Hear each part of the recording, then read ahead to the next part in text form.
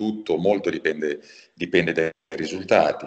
Antonio più volte ha detto che la squadra non era competitiva, che la squadra aveva bisogno comunque di tempo, competitiva quantomeno per lottare per i primi, primi, primi quattro posti.